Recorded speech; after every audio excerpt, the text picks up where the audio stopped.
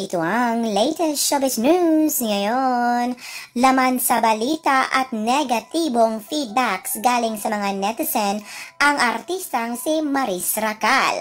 Dahil sa kanyang Twitter post the other day na kung sabi niya, positive na sukang-suka na sa government. Good people are outnumbered. Dahil dito marami ang nag-comment kay Maris Racal na parang itong mga komento niya at post sa Twitter ay para kay President Duterte. Bisaya ka man or kung ano pa, again, there is nothing wrong with voicing out your frustrations and opinions. Hirit pa rin ni Maris Racal sa kanyang Twitter account. Mga ilang post sa kanyang Twitter at laman ito ng balita ngayon at negatibong komento ng sambayanang Pilipino. Sabi pa ni Maris, remove your rose-colored glasses, bansa natin, duguan na. At ito naman ang komento ng ating mga netizen na nakuha natin sa Davao City Reports which is a government organization na kung saan ang Facebook fanpage na ito ay nananawagan sa mga local governments sa Davao na sana ay maband si Maris Racal sa Davao hope an official from the local government of Davao to formally file a resolution banning Davao Conyo and Maris Racal to use any of the facilities, air and seaport of Davao City for at least a minimum of five years as a form of disciplinary action for their conduct of unbecoming, discrediting a leader from Davao region.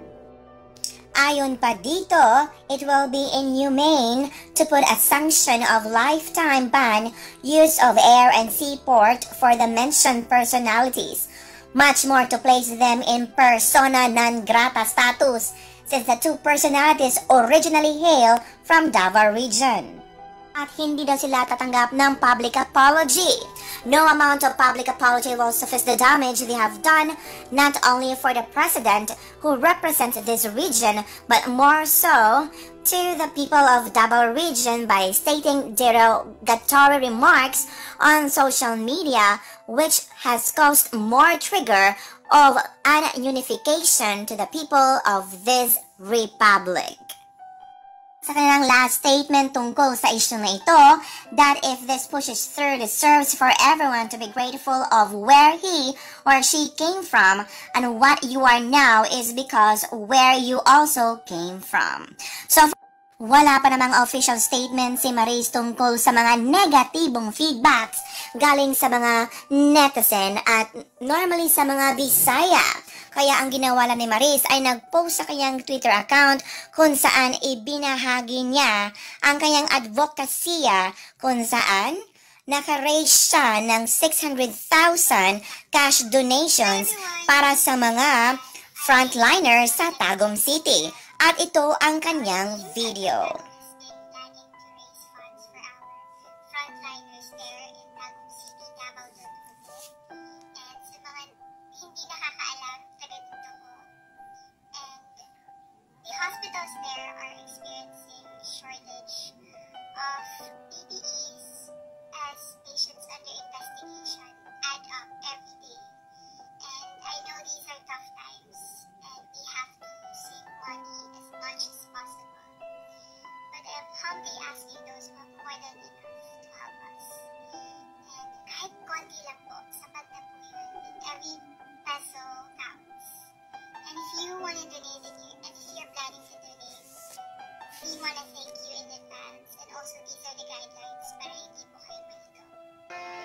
Once again, I want to thank you for your generosity. And uh, I hope God, and I know God, will bless your kind hearts. Stay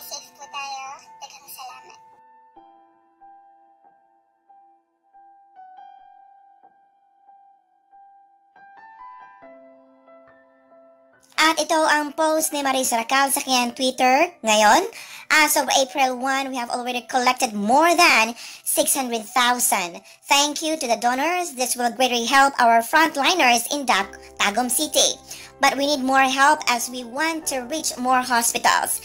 If you want to help, no, we are still accepting donations. Ano sa palagay nyo mga friends? Kailangan ba talagang i-band si Maris Racal at itong si Davao Conyo? Write down your comments below at tingnan natin kung ano ang mga opinion nyo tungkol sa isyo na ito.